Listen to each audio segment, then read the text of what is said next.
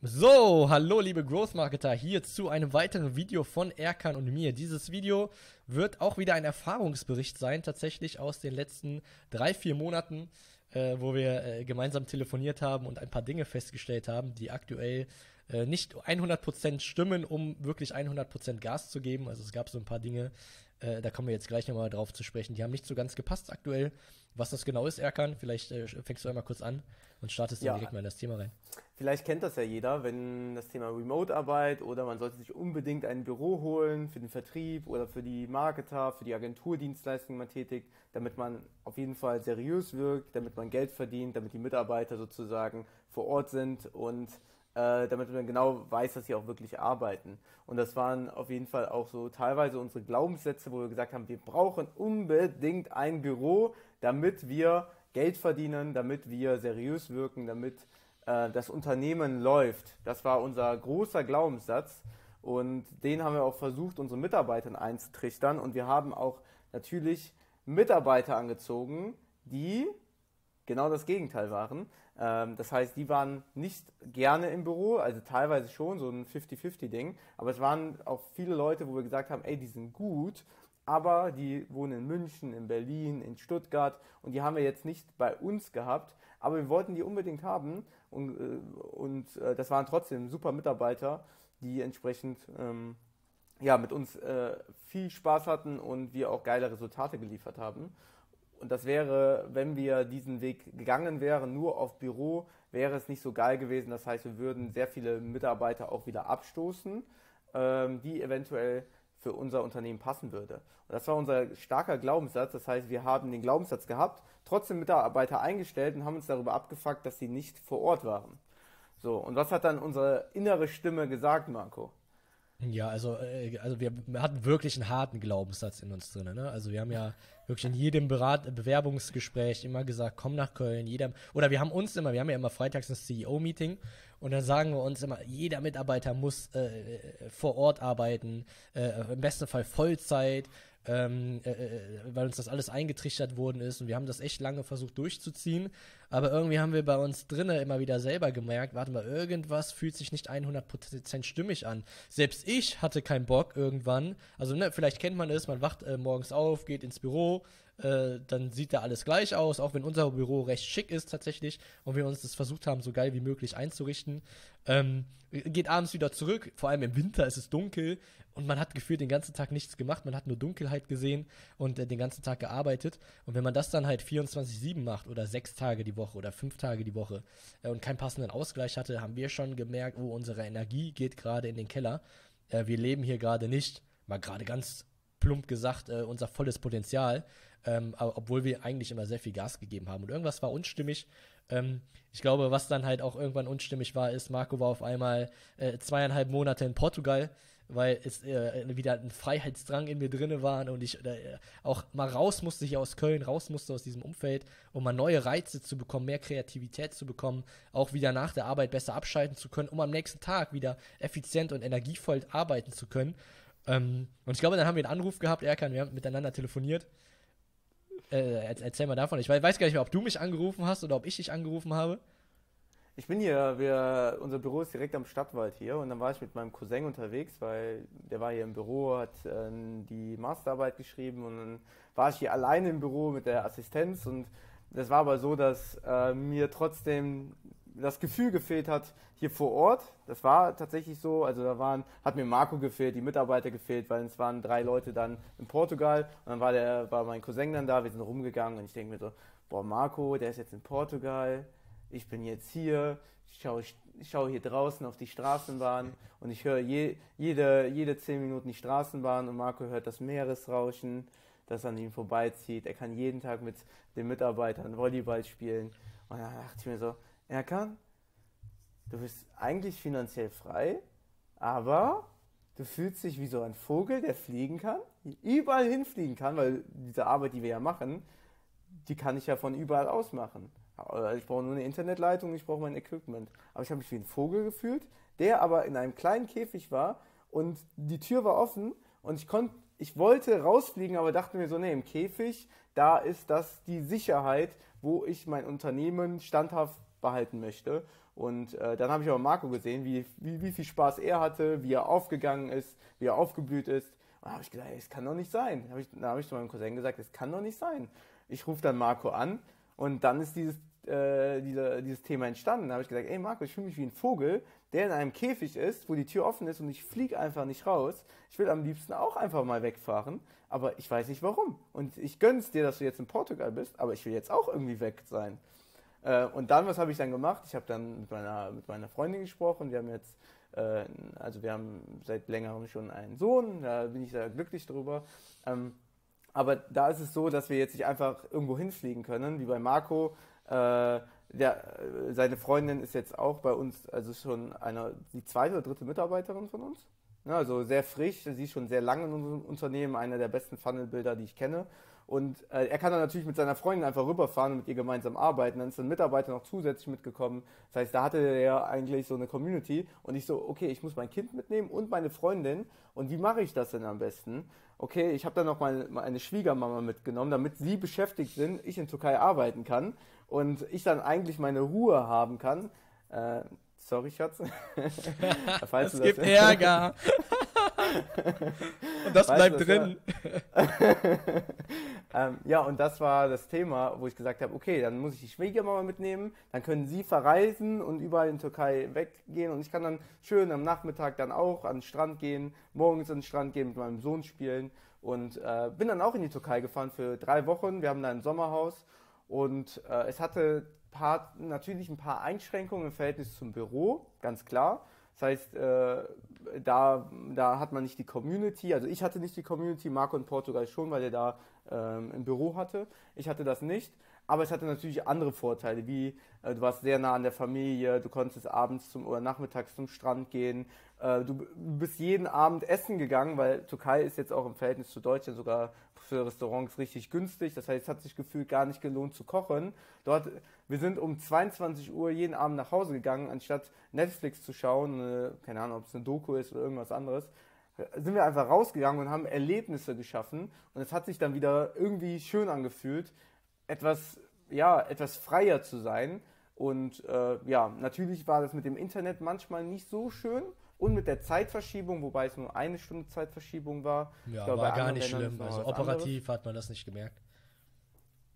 Genau, aber natürlich ist es so, wir haben zum Beispiel unsere Coaching-Calls, da waren die anstatt um 17 Uhr, waren die um 18 Uhr, dann gingen die mal bis 19.30 Uhr. Und mal ging das Internet nicht so gut, das heißt, das kann man noch ein bisschen optimieren. Aber grundsätzlich war es eine richtig nice Erfahrung, wo ich gesagt habe, ey, das will ich nochmal erleben. Und ich sag mal so, für Marco und für mich und auch für unsere Mitarbeiter ist das kein Problem. Vorausgesetzt, es werden Resultate geliefert, man delivert und man hat keine große Einschränkung und hat auch gutes Internet. Und wir stehen für Ergebnisse und wenn unsere Mitarbeiter Ergebnisse liefern, wenn wir Ergebnisse liefern, dann ist mir egal, wo wir wohnen. Ähm, Hauptsache, wir können dann entsprechend ähm, für unsere Kunden, für uns sehr gut arbeiten. Das ist vielleicht nochmal wichtig zu erwähnen, vielleicht kam das die ersten sieben Minuten nicht drüber. Ähm, wir haben auch richtig Gas gegeben. Also wir waren jetzt nicht nur in Portugal oder du warst nicht in der Türkei und warst dann acht Stunden am Meer, sondern du warst dann acht, neun, zehn Stunden auch am Arbeiten und das haben ja, wir ja genauso gemacht. Ähm, auch wir sind morgens direkt ins Coworking Space, haben produktiv und effektiv gearbeitet. Der einzige Unterschied ist, dass wir nach der Arbeit circa 18 Uhr, 17 Uhr zum Beachvolleyball gegangen sind und unseren Kopf frei gemacht haben und wieder mehr Energie hatten am nächsten Tag. Ähm, das heißt, das ist immer Grundvoraussetzung bei uns. Es war auch bei uns tatsächlich so, dass jetzt in Portugal Leute auf uns zugegangen sind. Der Imad, äh, der hat ein Investment, ein, gutes Investment bekommen aus, äh, aus England und baut ein Startup auf und meinte, Marco, ich beneide euch, weil es gibt zwei Arten von, nennen wir sie mal, digitale Nomaden oder Leute, die reisen und arbeiten. Äh, die einen, die reisen extrem viel und wollen einfach die Freiheit genießen, können sich aber gerade so über Wasser halten. Und ihr kombiniert das aber beide. Ihr arbeitet richtig viel, ihr verdient viel Geld und genießt aber dann noch die Freiheit und äh, ihr macht es genau richtig. Also genau das, was ihr macht, ist gut. Ob richtig oder falsch, muss jeder am Ende für sich selber wissen. Aber das ist unser Weg, weil wir immer noch Gas geben wollen. Wir sind Umsetzer, Praktiker, äh, wollen uns die Hände dreckig machen und äh, auch natürlich Ergebnisse erzielen. Wie ist es denn allgemein jetzt mit einem Mitarbeiter mit deiner Freundin in Portugal zu sein? Weil ich hatte jetzt meine Familie mit. Da gibt es Vor- und Nachteile. Natürlich hatte ich immer Essen und das war schön und so weiter. Aber wie ist es denn für die anderen, äh, wenn ein Mitarbeiter da ist und äh, die Freundin, die natürlich auch Mitarbeiter ist? Äh, Freundin ist äh, überhaupt kein Problem, kann man vielleicht irgendwann mal eine separate Folge zu machen, wie das Ganze läuft. Vielleicht auch sogar mit ihr, äh, wenn, sie, wenn, sie, wenn sie Lust drauf hat. Ähm, Mitarbeiter war auch kein Problem. So, dass bei dem Mitarbeiter war es natürlich jetzt der Fall, dass wir schon eine längere Zeit befreundet sind, über, über mehrere Jahre sogar auch.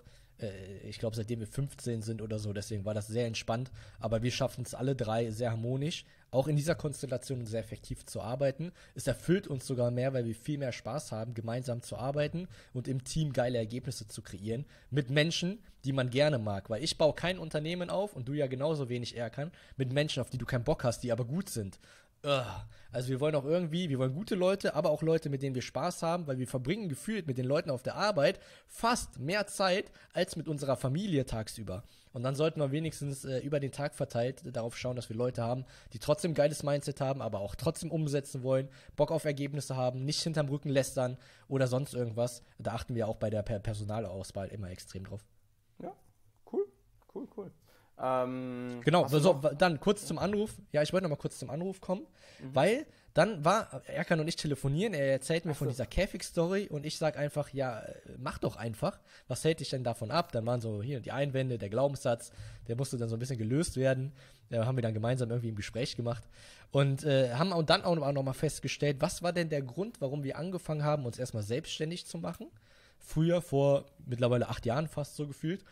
Ähm, ja, es war immer Freiheit. Wir wollten immer Freiheit leben. Aber wir wollen doch nicht 24-7 arbeiten, um dann in Zukunft irgendwann Freiheit zu haben, weil, wenn wir uns unseren Ist-Zustand anschauen, wir verdienen gutes Geld, ähm, wir können ortsunabhängig arbeiten. Lasst doch beides gleichzeitig machen und das integrieren. Ähm, so, das heißt, wir haben festgestellt, unser Wert, warum wir eigentlich angetreten sind, hat nicht dazu gepasst, wie wir gerade gelebt haben. Das heißt, wir waren Energie loser statt energievoller und konnten auch auf der Arbeit nicht 120 Prozent geben, sondern nur vielleicht 99 Prozent, die wir dann gegeben haben. Aber da ist dann definitiv äh, am Ende mehr möglich gewesen. Und dann, ganz spannend gewesen, haben wir uns eine Liste gemacht von unseren Mitarbeitern. So, das waren dann, ich glaube, zehn Stück zu dem Zeitpunkt. Und haben festgestellt, eigentlich sind ja nur vier in Köln und die anderen sechs, die sind in Deutschland oder Europa verteilt. Also irgendwas stimmt hier von der Kommunikation gar nicht. Wir selber wollen nicht diese fixen Strukturen und ja, um die besten Mitarbeiter mal ganz transparent auch zu ziehen, ja, wenn da jetzt jemand ist in Stuttgart und ich will unbedingt mit dem arbeiten, weil der einfach eine krasse Fähigkeit hat und menschlich auch super ins Team passt, ja, why not? Dann soll der doch aus Stuttgart arbeiten. Ich zwinge ihn doch dann nicht nach Köln ähm, dann ist er in seiner Energie drin, er kann richtig Gas geben, er, er ist glücklich, kann delivern und hat das Gefühl, bei einem geilen Arbeitgeber zu sein, der attraktiv ist und auch seine Ziele mit erreichen möchte. Und wir haben einen guten Mitarbeiter, der top motiviert ist und im besten Fall auch langfristig bei uns bleibt. Ja, auf jeden Fall. Das heißt, du, man zieht dadurch auch bessere Mitarbeiter an, ähm, vorausgesetzt, äh, die, äh, das stimmt dann auch mit den Werten. Das heißt, wenn du auch denkst, du bist ein guter Mitarbeiter und hast Bock auf das Thema Growth Marketing, kennst mit Ads aus, mit Funnels aus und hast eventuell schon eine Führungsposition in anderen Unternehmen gehabt, ist es vielleicht auch relevant, sich bei uns zu bewerben äh, und mit uns in Kontakt zu treten. Das ist auch möglich. Wir merken ja auch immer, äh, er kann ganz transparent, dass wir immer attraktiver werden als Arbeitgeber. Also ich meine, wir werden größer, wir haben mehr Mitarbeiter, der, ne, der Umsatz ist äh, nicht schlecht, würde ich jetzt sagen. Ähm, das macht Spaß. Und immer wenn wir in Gesprächen führen, wir wollen ja keine Leute abwerben oder so, aber also wenn wir jemanden haben wollen, dann haben wir eigentlich gefühlt kein Argument, warum wir ihn nicht bekommen sollten. Also wir können äh, Ortsunabhängigkeit bieten, wir können Freiheit bieten, wir können aber Ergebnisse bieten, in einem Ziel arbeiten und an richtig geilen Rekord-Launches mit zusammenarbeiten. Äh, wir können richtig Remi-Demi sorgen, wir haben eine gemeinsame Vision ja immer wieder, die wir dem Team kommunizieren, ähm, dass wir etwas langfristig hier in der Welt bewegen wollen, äh, indem wir verschiedensten Leuten mit Marketing einfach helfen. Ähm, äh, äh, wir, gehaltstechnisch sind wir, würde ich sagen, verdienen unsere Mitarbeiter jetzt nicht schlecht. Ähm, also ist auch äh, sehr, sehr, sehr, sehr, voll in Ordnung. Und ähm, ja, da also ist halt geil, wenn du dich irgendwann. Also wir, wir backen so gefühlt unser Traumunternehmen, in dem wir immer arbeiten wollten, aber auch dann anderen Leuten die Möglichkeit geben, mit uns gemeinsam äh, richtig Geiles was zu erreichen. Du sagst ja voll in Ordnung. Also hätte ich das Geld verdient bei anderen Unternehmen, wäre wär ich wahrscheinlich da geblieben. Äh, also bei uns, wenn einer 100% Verantwortung äh, äh, gibt und richtig Gas gibt und wie so ein Unternehmer handelt und sagt, ey, wenn wir das machen, kriegen wir mehr Geld und so weiter und machen wir mehr Umsatz oder können wir bessere Kundenergebnisse liefern und äh, handelt wirklich eigen, äh, 100% verantwortlich, dann verdient der nicht nur okay Geld, sondern verdient auch sehr gutes Geld und kann auch mit dem Unternehmen gemeinsam mitwachsen. Vorausgesetzt, man gibt dann 100% Gas und 100% die Verantwortung ist dann sozusagen, also kann, sage ich mal, äh, mehr Impact reinnehmen, als er kostet. Das ist immer das Wichtige. Also ein Mitarbeiter soll nicht was kosten, sondern soll äh, eine Investition sein, dass er im Endeffekt noch mehr, noch mehr rausholt im Unternehmen. Ich glaube, da haben wir auch lange für gebraucht, um das äh, zu begreifen. Wir waren ja am Anfang, am Anfang sehr sparsam unterwegs, um einfach aber auch gesund äh, äh, Liquidität aufzubauen, um alle Mitarbeiter langfristig halten zu können. Das ist uns ganz gut gelungen. Ähm, mittlerweile äh, sehen wir schon den Hebel, wenn du in gute Leute investierst, dass du langfristig auch mehr, äh, mehr, mehr rausholst. Was ist jetzt unser Fazit? Also, was, wie gehen wir jetzt vor? Ich meine, wir machen ja jetzt nicht 100% Remote, ähm, aber, aber was machen wir jetzt? Wofür haben wir uns entschieden? Vielleicht interessiert das den einen oder anderen. Ähm, wir haben uns entschieden, eigentlich beides zu machen. Das heißt, wir behalten unser Büro, es bleibt eigentlich alles gleich, nur dass wir auch die Möglichkeit geben, dass, dass man vor allem woanders arbeitet. Wichtig ist aber, dass die Zeitverschiebung, wenn wir jetzt in Amerika sind oder in Australien sind, wo die Zeitverschiebung extrem ist, das würden wir jetzt nicht so geil finden. Aber wenn die Zeitverschiebung ein oder zwei Stunden ist und man dafür Gas gibt, dann können wir auch sagen, hey, wir bieten auch mal äh, Auslandsaufenthalte an, äh, ob es Portugal ist, ob es Türkei ist, ob es äh, Italien ist, irgendwas, was in der, in der Nähe ist, würde ich sagen, ähm, wo es keine große Zeitverschiebung ist. Da bieten wir das für unsere Mitarbeiter an, als auch für uns an, dass wir auch mal von woanders arbeiten, vorausgesetzt, da ist gutes Internet, vorausgesetzt, man kann genauso gleich arbeiten wie vor Ort und äh, ja, gibt dann eigentlich noch mehr Gas, wenn man es beweisen möchte, dass man woanders äh, auch arbeiten kann. Grundsätzlich ist aber unser Büro da, jeder kann in unser Büro kommen ähm, und unsere Assistenz ist hier und ja. Ja, genau. vor allem äh, merken wir ja das Büro in Köln. Ich glaube, das würden wir erstmal nie aufgeben, weil der Unterschied von zu Hause arbeiten, also mir fällt irgendwann die Decke auf den Kopf. Ich mag es auch ja. mittlerweile nicht mehr Privatleben und Beruf so zu trennen. Ich mag ja eher die, also ich mag eher die Trennung tatsächlich. Also ich mag es zu trennen, nicht zu vermischen mag ich nicht. Aber die Trennung, die tut mental einfach so gut. Du kommst abends nach Hause und du hast einfach Familie da, Freundin da, du dein Kind da. Ähm, du gehst ins Büro und du weißt, hier ist jetzt 100% Arbeit, bist effektiv in den 8, 9, 10 Stunden, die wir hier sind. Und dann sind wir zu Hause und dann können wir uns voll und ganz auf uns und unser Privatleben konzentrieren. Ähm, das war echt nochmal ein Gamechanger die letzten Jahre. Genau, also Büro, ich kann auch schwierig zu Hause arbeiten, wenn ich zu Hause bin, dann ist indirekt hat man immer was, ja, also da passiert irgendwas, gerade wenn du ein Kind hast, ich, also wenn du ein Kind hast, dann ist Homeoffice nicht so geil, das heißt, du brauchst wirklich einen anderen Raum, am besten gar nichts hören, Kopfhörer auf und so weiter. Und das musstest du auch beim Remote-Arbeit schauen, weil Marco hat sich zum Beispiel, wie heißt das, ein Remote-Office geholt? Nee, wie heißen die nochmal? Äh, Coworking Space. Also ich war in einem Coworking Space. Coworking Space.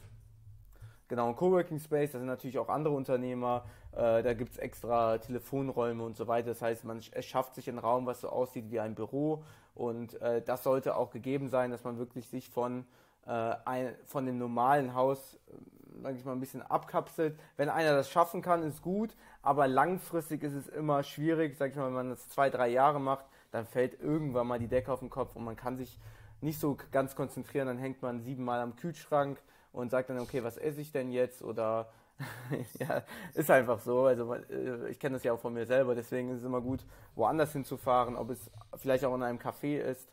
Und ähm, das sollte dann gegeben sein, dass man auch wirklich Vollgas geben kann. Mhm. Also wir sind ja hier beim genau. äh, Growth Marketer Kanal, das heißt, wir wollen ja grundsätzlich immer, dass wir Unternehmen, Experten oder ähnliches zum Wachsen bringen. Das heißt, wir wollen immer, dass sie mehr Umsatz hinten rausholen.